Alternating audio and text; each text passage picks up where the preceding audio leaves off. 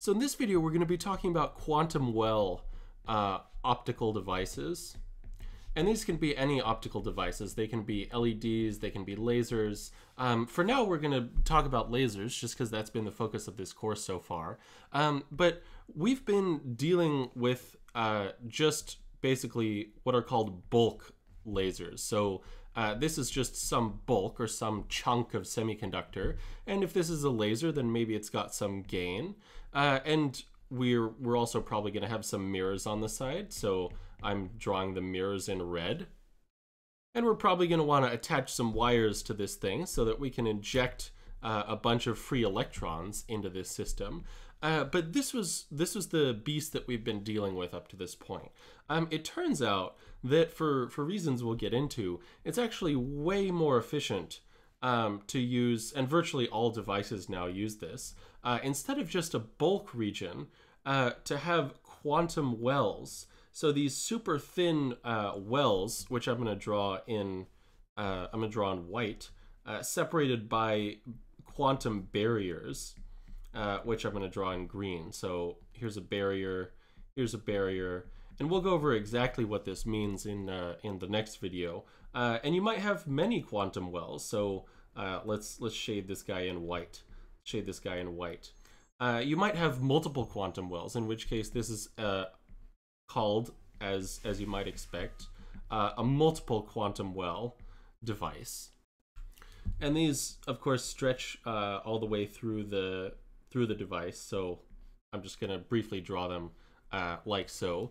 But uh, so now instead of this entire region having gain, uh, or this entire region being optically active, uh, so this is where the active region uh, comes in, um, only a specific subset of the quantum well is optically active. So these wells themselves uh, have some, well, I, I guess I've drawn the wells in white.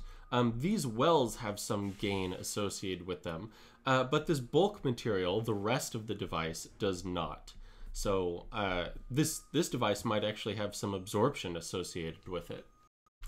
And if this is a laser, we're probably also going to want to attach some mirrors on either side of this device and we're going to want to attach some wires somewhere so that we can inject a bunch of electrons. So it's virtually identical to the bulk device, and it follows virtually the same, uh, same rate equations, uh, same dynamics, everything we've dealt with thus far.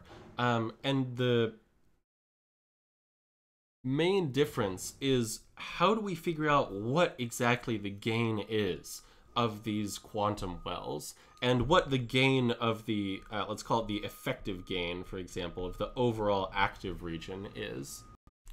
And so, what are the main differences between these two uh, devices? How are we going to treat quantum wells differently than we treated bulk devices? Um, well, one is the density of states, or the reduced density of states. So, in the bulk case, we know that it's proportional uh, to the energy minus the band gap.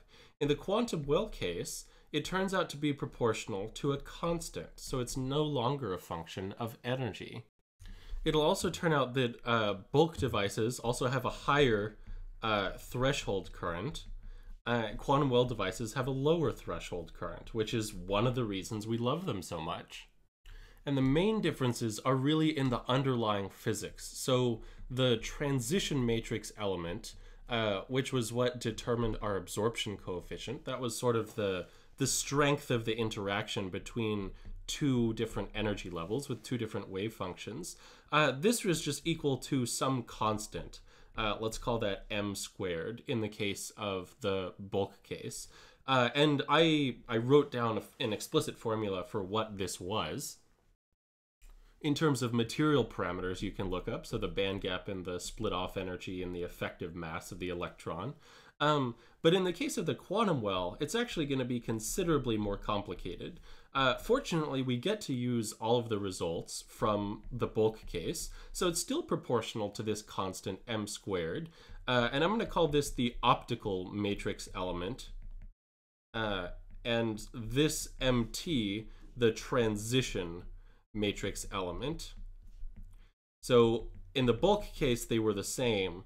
Uh, in the quantum well case, they're going to be different. So mt is equal to magnitude or magnitude mt squared is equal to magnitude m squared, uh, which is what mt was in the bulk case, um, times this factor beta. Uh, and this is a factor usually less than one, but some it's it's around one. Uh, and this is going to capture the polarization dependence. Uh, so this is just some unitless constant. And figuring out what exactly that constant is turns out to be pretty, pretty complicated.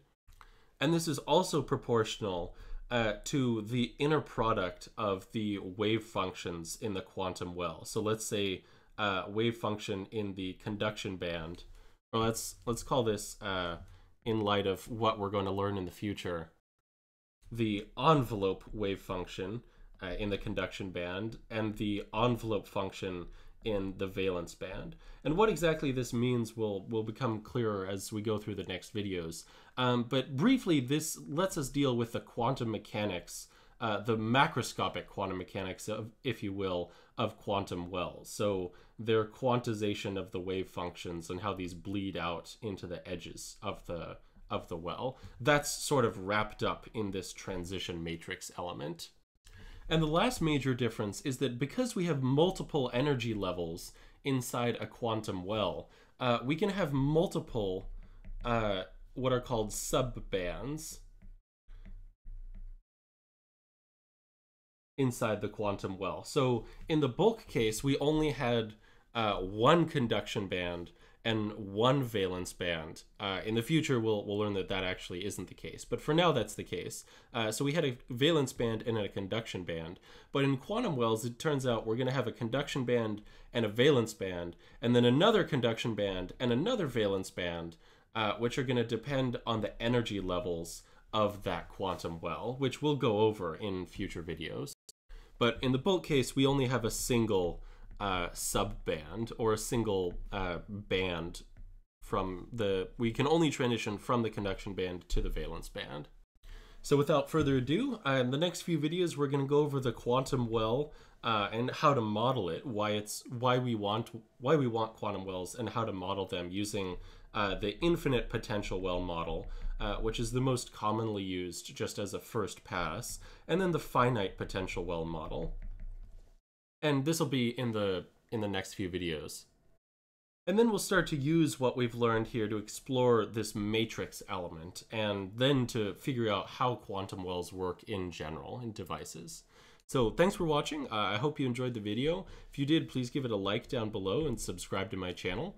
Uh, also, if you have any questions or comments, please post those down below and I'll try to get back to you as soon as I can.